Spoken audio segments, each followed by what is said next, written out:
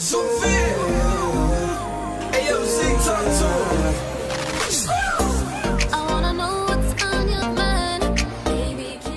Hey man, the one eating the cookie. Over here. Yeah, you. Do you know what happens when you eat? What? What happens? Chemical reaction.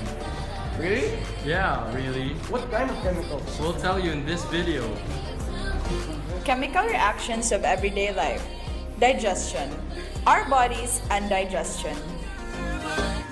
The main aim of digestion is to take up the essential nutrients found in food.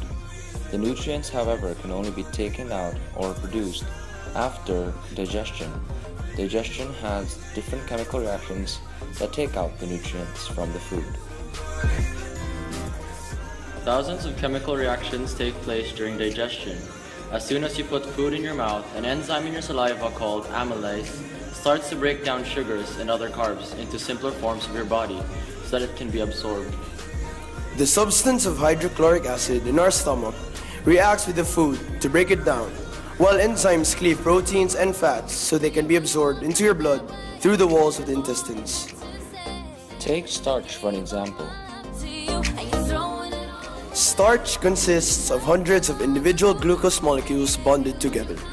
During digestion, these bonds are broken down by hydrolysis reactions catalyzed by enzymes that are mostly present in the small intestines.